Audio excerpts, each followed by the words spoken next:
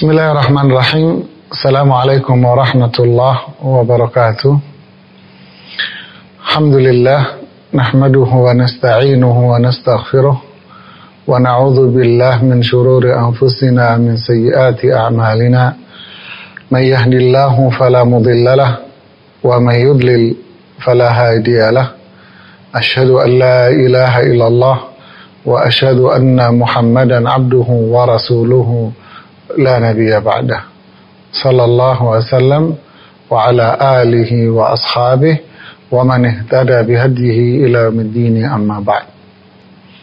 Langsung saja kita akan lihat pertanyaan-pertanyaan ya. Silahkan dibacakan oleh admin. Silahkan admin untuk membacakan pertanyaannya.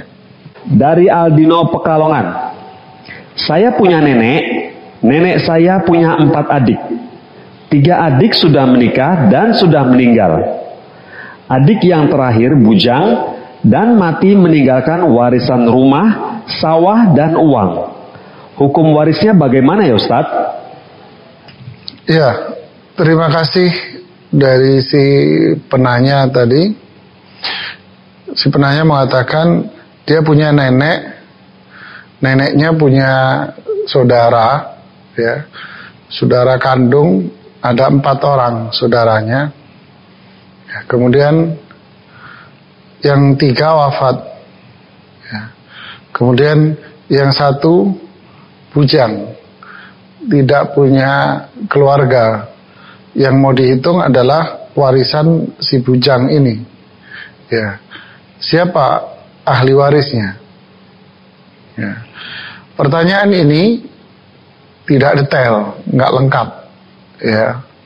Nggak lengkapnya artinya tidak disebutkan yang meninggal ini atau tiga orang ini ya siapa yang lebih dulu wafat? Jadi siapa yang wafat? Siapa yang lebih dulu wafat dari mereka ini? Apakah pewaris ini namanya pewaris atau saudara-saudaranya ya. Siapa yang lebih dulu wafat? Apakah pewaris atau saudara-saudaranya? Ini tidak jelas pertanyaannya. Tapi saya bisa memberikan ilustrasi secara umum seperti ini. Jika satu yang bujang ini wafat ini yang wafat berarti dia yang mau dihitung warisannya. Siapa ahli warisnya? Karena dia bujang maka ahli waris dia ahli warisnya saya singkat AW ya ahli warisnya adalah saudara SDR ya, saudara kandung. Nih, warisnya adalah saudara kandung. Saudara kandung yang mana?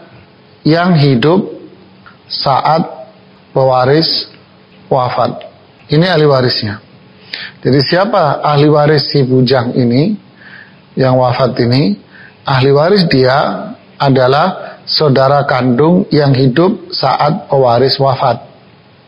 Berarti kalau ada saudara kandung yang wafat sebelum si bujang ini, jadi kalau ada saudara kandung wafat lebih dulu, ya ada saudara kandungnya lebih dulu wafat, ya dibanding dengan si pewaris ini, maka saudara kandung yang wafat lebih dulu tidak mendapatkan warisan. Yang mendapat warisan adalah saudara kandung yang hidup saat pewaris wafat. Ya, saya bisa menjawab hanya sebatas ini saja. Ya, ini saya bisa jawab hanya sebatas ini. Kenapa? Karena pertanyaannya tidak jelas. Tidak jelas disebutkan di sini ini laki atau perempuan, laki atau perempuan. Terus di saudaranya ini laki atau perempuan juga tidak disebutkan semuanya. Jadi pertanyaannya terlalu umum, saya hanya bisa menjawab sampai di sini, sebatas ini saja. Allah a'lam. Kita tutup dengan doa kafaratul majlis.